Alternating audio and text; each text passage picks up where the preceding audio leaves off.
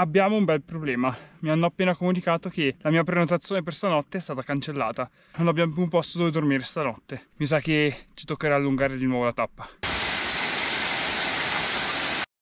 Oggi siamo sulle Dolomiti, precisamente al lago di Braies, che oltre a essere un lago veramente bellissimo è anche l'inizio di una delle alte vie più famose d'Italia, ovvero l'Alta Via 1 delle Dolomiti. Noi la percorreremo tutta nei prossimi giorni con lo scopo di testare tutto l'abbigliamento, gli scarponi e lo zaino di DF Mountain, un marchio che ha fatto del suo punto prezzo uno dei suoi cavalli di battaglia.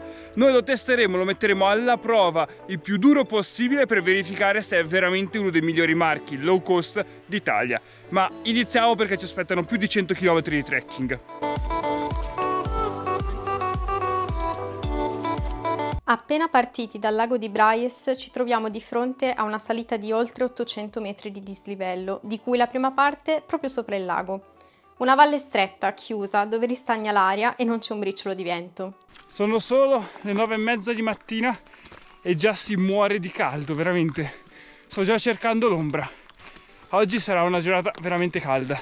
Ma non facciamo in tempo ad abituarci al caldo che arriva il primo grande imprevisto della giornata la neve. Immaginavamo di trovarci ad affrontare una situazione simile, ma non immaginavamo potesse essere così tanta. Per la nostra fortuna, però, la neve era molle ma portante, dandoci modo di provare subito la tenuta degli scarponi. Ed eccoci alla forcella.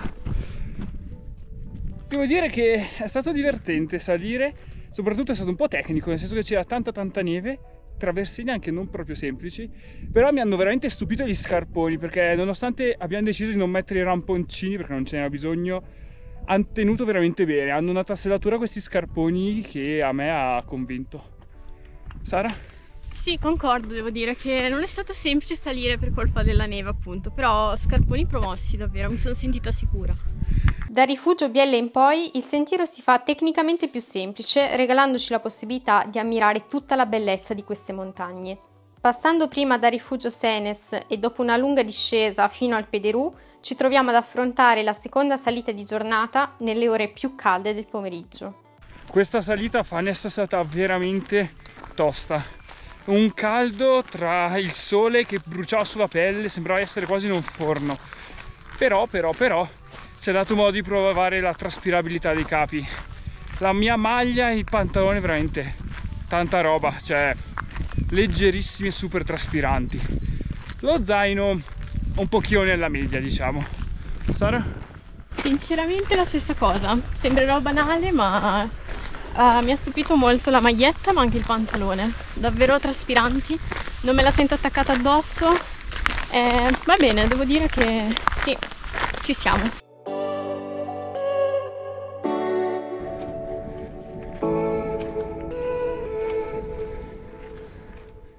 Oggi ripartiamo perché ci aspetta una bella tappa bella lunga. Soprattutto oggi dovremo correre perché per stasera mettono temporali, quindi ci muoviamo e vediamo anche un po' come andrà tutto attrezzatura, soprattutto su neve. Adesso vi faccio vedere dove dobbiamo arrivare. Iniziamo la seconda tappa percorrendo l'altopiano di Fanes e anche qui non è mancata la fortuna, perché lo abbiamo trovato completamente allagato. Complice lo scioglimento della neve, abbiamo avuto modo di testare per bene l'impermeabilità degli scarponi, fino a che non ci siamo trovati di fronte a questo. Piccolo aggiornamento, noi saremmo dovuti passare per questa forcella, però secondo me è anche fin troppo alpinistica con tutta questa neve, quindi dato che non abbiamo né ramponi né piccozze né nulla, eh, ci allunghiamo un po' e la riprendiamo da un'altra parte. Peccato perché non sembrava male, però prima la sicurezza. Allungare la tappa però non vuol dire soltanto aggiungere chilometri, ma vuol dire anche affrontare una delle peggiori discese di tutta l'alta via. La ripida discesa che porta alla capanna alpina infatti presenta alti gradoni, rocce instabili e una pendenza che non scende mai sotto la doppia cifra. Discesa spacca ginocchia andata Vorrei fare però una menzione di onore ai bastoncini perché io sto provando quelli telescopici in carbonio e io mi sono trovato veramente bene, soprattutto in una discesa così dove sono fondamentali per scaricare un po' di peso ed evitare di buttarsi giù. Io mi sto trovando veramente bene. Sara? Io quelli a tre vie per intenderci eh, sono veramente leggeri, anch'io mi sono trovata molto bene in discesa, proprio fondamentali devo dire. Ora però, avendo perso diversi metri di quota, la seconda salita di giornata è diventata molto più dura del previsto. Percorrendo prima la, la pista rossa da sci fino al rifugio Scottoni e poi il canalino che ne segue, siamo riusciti a tornare sul percorso originale dell'Altavia. Da qui però le condizioni del sentiero cambieranno drasticamente. Se stamattina ce la siamo cavata ad evitare la neve, oggi pomeriggio invece no, ci tocca un, un bel po' di metri di dislivello, tutti su neve. La salita alla Forcella alla Gazzuoi si rivelerà una delle più tecniche dell'Alta Via e anche uno dei test più severi per l'attrezzatura. Il grip degli scarponi, la resistenza termica e resistenza al vento dell'abbigliamento ci hanno permesso di arrivare alla Forcella senza difficoltà anche se nel punto più alto il vento si faceva veramente sempre più forte. Sta forcella ragazzuola ci ha veramente fatto dannare, sia a salire tantissima neve ma anche a scendere pattinavamo sulla neve, ma soprattutto il vento, davvero un vento forte e freddo. Menzione però va fatti a questo secondo strato perché tiene veramente molto bene il vento. Devo dire, secondo me, sicuramente non sostituisce un arshell, però lo tiene abbastanza bene il vento praticamente fate conto che abbiamo fatto la forcella senza mai indossare l'arcella quindi direi veramente top ma la nostra giornata non finisce qui. Abbiamo l'ultima salita da fare fino al rifugio Scoiattoli, passando per le Cinque Torri, e poi finalmente al rifugio Averau. Anche oggi tappa veramente molto dura, poi adesso si è alzato veramente un vento freddo, per fortuna che siamo quasi arrivati all'Averau. Tappa dura, soprattutto questa seconda salita, terza salita, che arriva su Scoiattoli a Verau davvero dura una cosa positiva però sono praticamente quasi 10 ore che stiamo camminando da quando siamo partiti dal Fanes e io con lo zaino ci trovo veramente bene. Scarico del peso veramente top. Io ho dentro 11 kg 12 con l'acqua e mi sembra quasi di non averlo. Adesso vola via il cappello. Sara? Sì, anche per me zaino promosso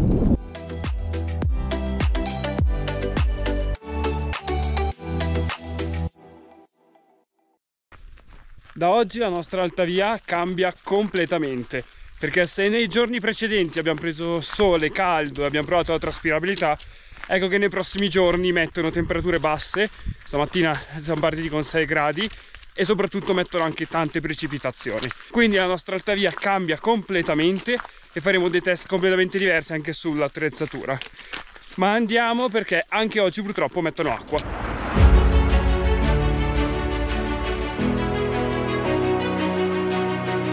Le temperature basse e le nuvole sopra di noi non ci hanno impedito di goderci il percorso verso uno dei punti più iconici delle Dolomiti, il passo Giao.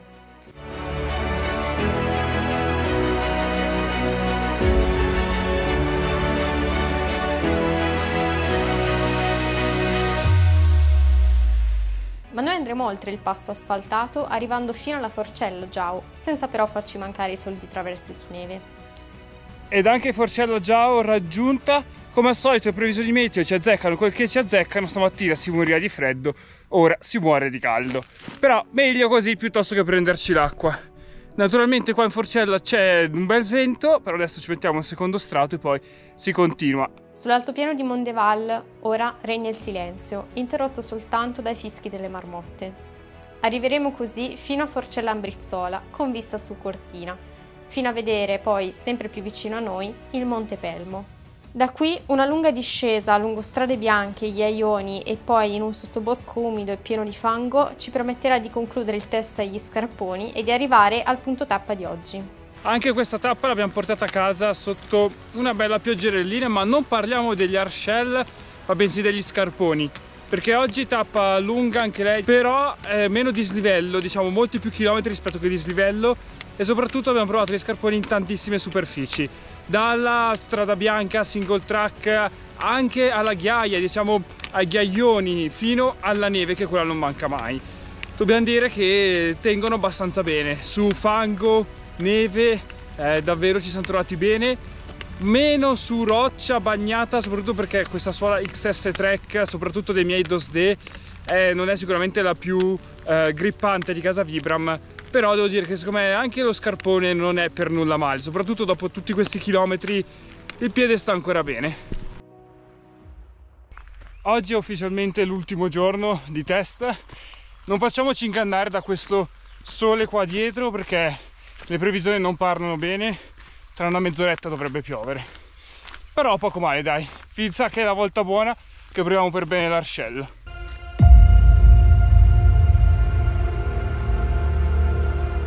Superato il primo tratto di salita fino al rifugio Coldai è iniziata la parte più difficile di tutta l'alta via. Forti raffiche di vento freddo indicavano che il tempo stava cambiando ed era arrivato il momento di cambiarsi e testare l'Arshell. Oggi c'è veramente un freddo, ma freddo, c'è un vento che ho dovuto mettere sull'Arshell per proteggermi dal vento perché il secondo strato non bastava. Ma davvero ragazzi, che freddo! Da qui il sentiero era completamente scomparso sotto la neve e, come se non fosse abbastanza, iniziava ad arrivare anche le prime gocce di pioggia.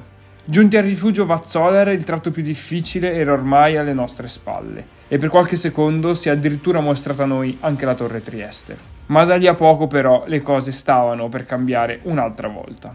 Questo è il test definitivo per tutta l'attrezzatura perché siamo in un bosco, tasso di umidità altissimo, saremo oltre il 90%, in salita non c'è un filo d'aria.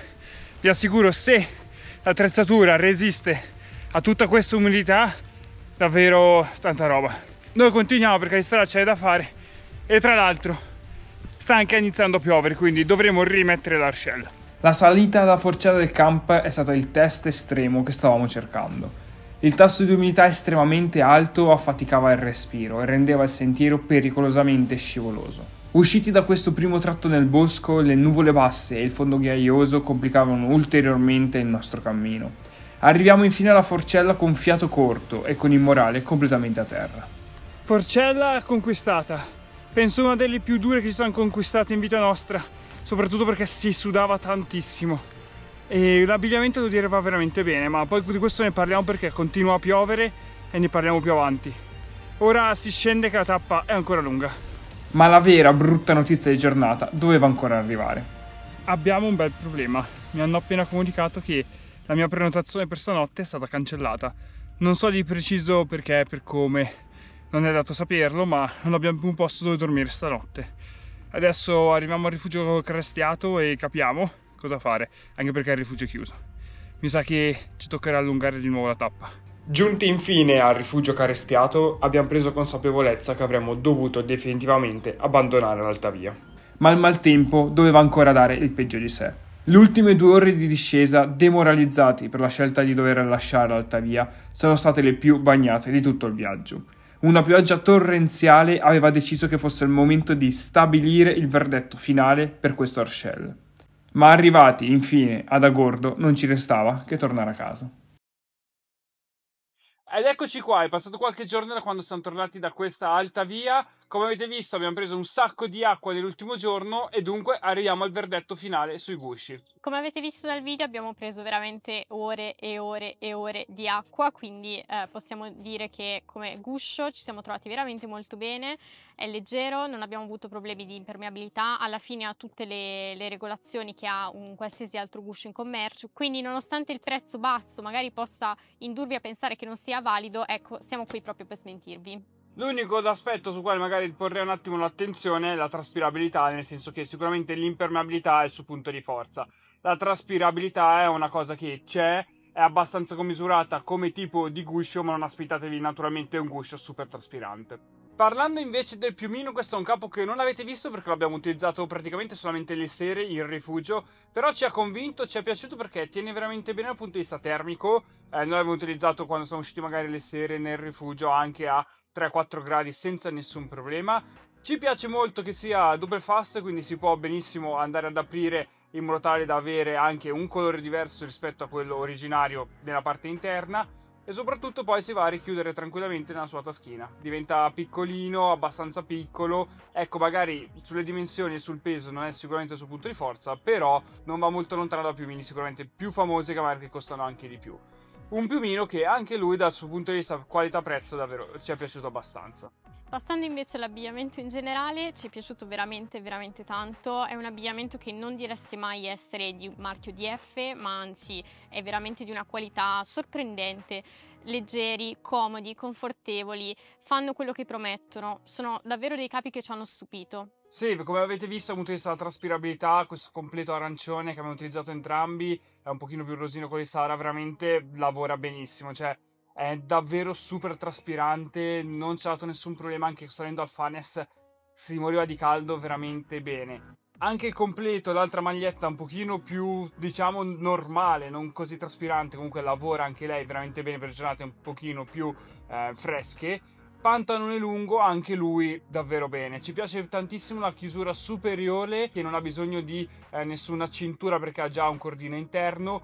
Pantalone poi che è un pochino idrorepellente, nel senso che l'acqua non entra subito, un pochino idrorepellente e poi la chiusura inferiore quando abbiamo trovato tutta la neve la possibilità di chiudere il pantalone sullo scarpone evitare che la neve entrasse all'interno dello scarpone è stato veramente il top Secondo strato, anche questo assolutamente promosso, il mio era un po' più termico, quello di Riccardo un po' più leggerino, però io mi sono trovata davvero bene, uh, il mio aveva anche il cappuccio, comodissimo e mi ha aiutata tantissimo, soprattutto alla forcella ragazzoi, a proteggermi dal vento freddo. Passando invece agli zaini, il modello Eiger da 40 litri. Io il modello Codera da 35. Zaino hiker secondo me è veramente fatto bene. Il colore nero può piacere, può non piacere, però a livello di traspirabilità davvero nessun problema. Scarico del peso, abbiamo fatto tappe a 12 ore con 12 kg sulle spalle, è andato da Dio. Un sacco di taschine, anche da parte anteriore una bella desicene per attaccare qualcos'altro. Devo dire davvero uno zaino che personalmente riutilizzerei altre 100 volte per rifare alta via. Parlando invece del Codera, molto bene scarico del peso, molto bene la traspirabilità, davvero non mi ha dato nessun problema di dolore alle spalle. L'unica pecca che posso dire di questo zaino, per il quale magari non lo ricomprerei, è il litraggio, nel senso che eh, per come è stato strutturato lo zaino in particolare rispetto alle tasche, diciamo che il litraggio è di 35 litri, ma non si riesce a sfruttarlo appieno come si vorrebbe. Infine, gli scarponi, ho provato il modello Dosday 2.0. Per me Idofur 5.